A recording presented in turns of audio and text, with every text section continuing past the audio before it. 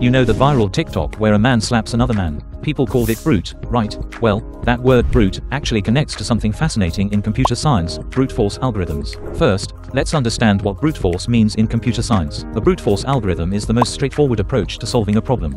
It systematically tries every possible solution until it finds the right one. No clever shortcuts, no fancy optimizations. Here's a classic example. Cracking a four-digit password. A brute force algorithm would start at 0000, then try 0001, 0002, and so on until it reaches the correct combination. It's guaranteed to work, but it might take up to 10,000 attempts. That's the trade-off, certainty versus efficiency.